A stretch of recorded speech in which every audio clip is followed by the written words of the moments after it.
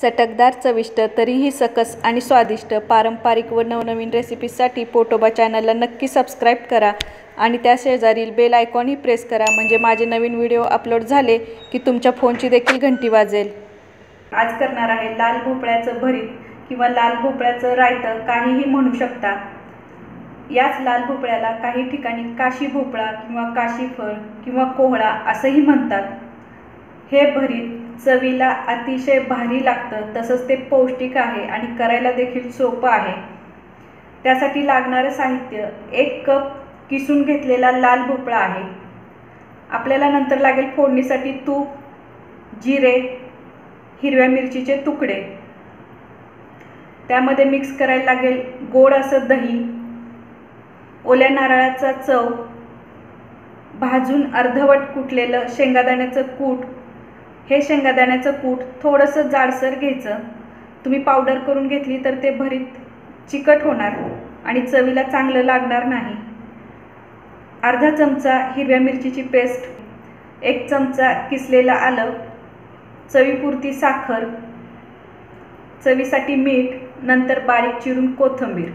जर तुम्ही उपवासाला कोथिंबीर जिरे खात नसाल तर ते इथे वापरू नका. सर्वात आधी हा किसलेला लाल भोपळा थोडासा वाफवून घ्यायचा. कढईमध्ये एक चमचा साजूक तूप घ्यायचं.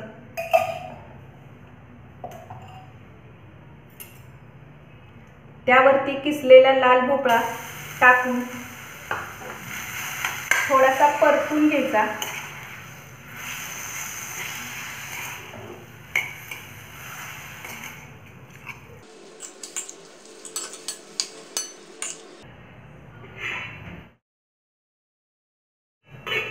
यावरती एक झाकण ठेवून याला एक वाफ आणून तो मऊ असा शिजवून घ्यायचा. भोपळा लगेचच शिज शिजतो. त्याला फार काही वेळ लागत नाही. आणि भोपळ्यामध्ये पाण्याचा कंटेंट असल्यामुळे तो तेवढ्यावरतीच वाफेवरती तो व्यवस्थित शिजला जातो. त्यामुळे आपण याला वरून अजिबात पाणी मिक्स करण्याची गरज नाही. हेच तुम्ही नॉनस्टिक पॅनमध्ये देखील करू शकता. उघडून बघते. भोपळा शिजला का ते?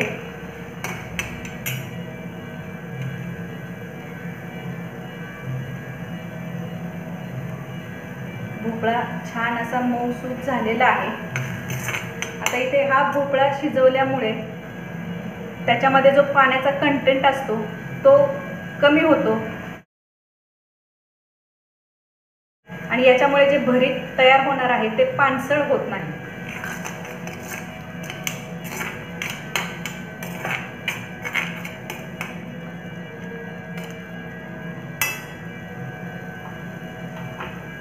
गॅस बंद करून हे थंड करून घ्यायचं.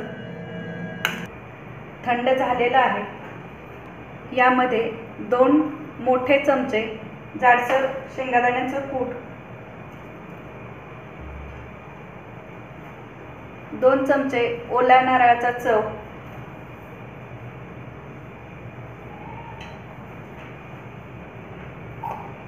अर्धा चमचा हिरवी मिरचीची पेस्ट एक चमचा किसलेलं आलं चवीपुरती साखर चवीपुरतं मीठ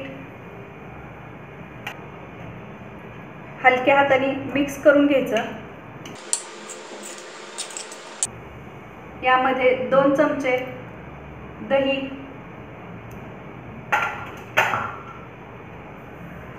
इथे जे सगळे दोन चमचे शेंगादाण्याचं कूड दही आणि ओल्या नारळाचं चव वापरलेलं आहे हे दोन टेबलस्पून म्हणजेच मोठ्या चमच्यानी दोन चमचे असं घेतलेलं आहे. हे थोडंसं मिक्स करून घ्यायचं.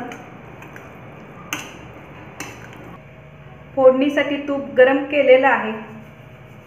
त्यामध्ये अर्धा चमचा जिरे थोडे हातावरती चोळून टाकायचे.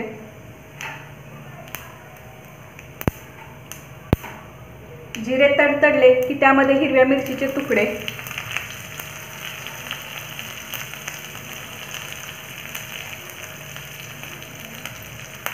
गॅस बंद करून घ्यायचा.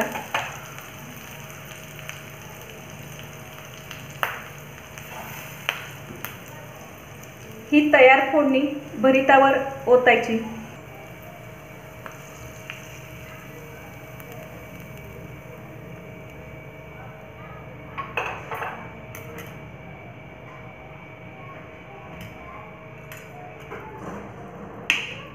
मिक्स करायचं.